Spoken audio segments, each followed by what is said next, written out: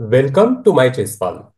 Today we are diving into a key concept for any chess player aiming to improve their endgame skills. Opposition. If you want to understand how to use the power of opposition to win those crucial endgames, you are in the right place. Let's get started. First, let's define opposition.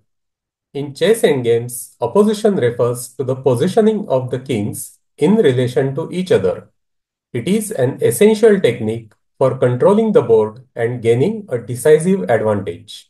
If you are playing a king and pawn endgame, knowing how to use opposition can make the difference between win and draw. There are several types of opposition and understanding each can significantly impact your endgame performance. Here are the main types of opposition. Direct opposition. The kings are on the same rank, file or diagonal with one square in between them. Distance opposition.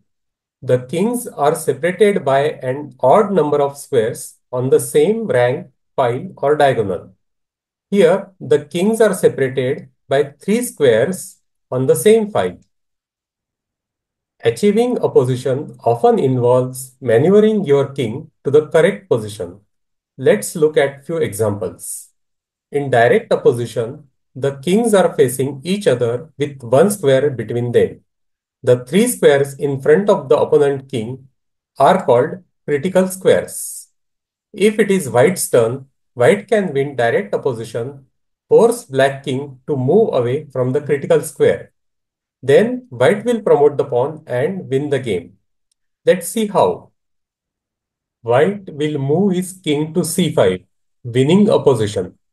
Now wherever black king moves, it will give up at least one of the critical squares b6, c6 or d6. Suppose black king goes to d7. Now white king will go to the available critical square b6. Now wherever black king moves, say d6, white can advance the pawn to c5. After king to d7, white can either advance the pawn to c6 or play king b7, winning direct opposition on 7th rank. White will soon promote the pawn, for example, king to d8, c6, king e7, c7, king f6, and c8 equal to queen. However, in the position where we started, if it is black's turn, then black can win the opposition and force the draw. Here, black can move the king to d6 and win the opposition. Black can keep winning the opposition and comfortably draw the game.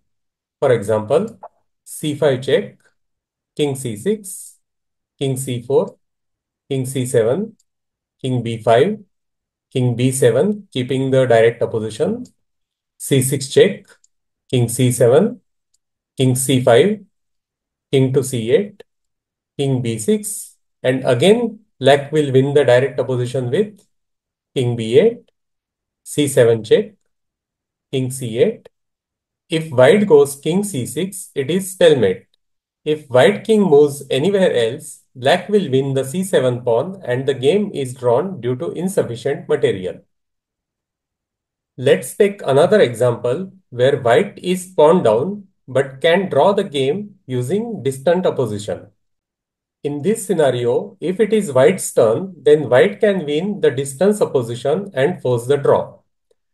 Can you find the only white move to win distance opposition? Yes, king to f1. Now, if black plays g4, then white has many good moves like king g2, king f2, etc.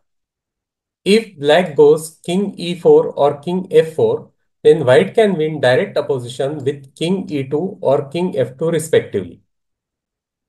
However, if black goes king e5 instead, then white should not go king e2 or king f2.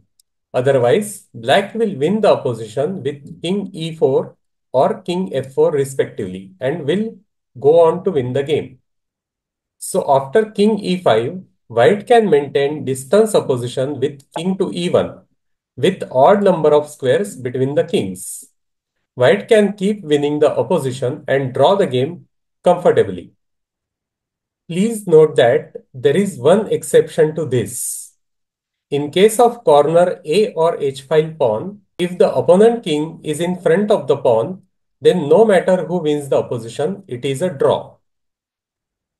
In this position, white has won the opposition and it is black's turn, but still white cannot win the game.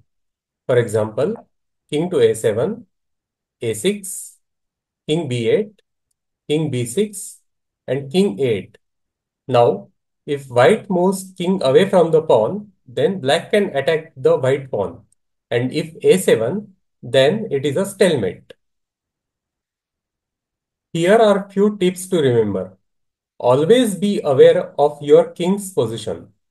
Keeping your king in opposition often means being in a more favorable position to push your pawns or block your opponent's pawns. Use opposition to control key squares. By achieving opposition, you can control important squares on the board, often leading to the promotion of your pawn. Practice different scenarios. The more you practice endgame positions, the better you will become at recognizing and achieving opposition. Let us check your understanding of opposition via this endgame position from Magnus Carlsen versus Hou Yifan game in Tata Steel Chess Tournament 2016. Magnus playing with white has only one correct move to win opposition and the game. Please share your answer in the comments below. There is a surprise gift for the initial correct answer. So opposition is a fundamental concept in endgames that can turn the tide of the game in your favor. Practice these techniques and you will be well on your way to mastering endgame strategies. If you found this video helpful, don't forget to like, subscribe and hit the notification bell icon for more chess content. Share your thoughts and any questions you have in the comments below. Thanks for watching and see you next time.